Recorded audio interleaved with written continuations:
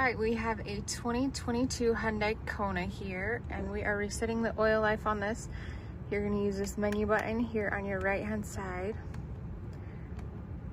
and you're gonna go down to settings, keep scrolling until it says settings and then down, this arrow down to convenience, push in and then service interval.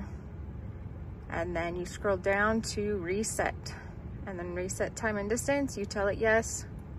This one's set for 7,500 miles or 365 days. Should be good to go. Thanks for watching.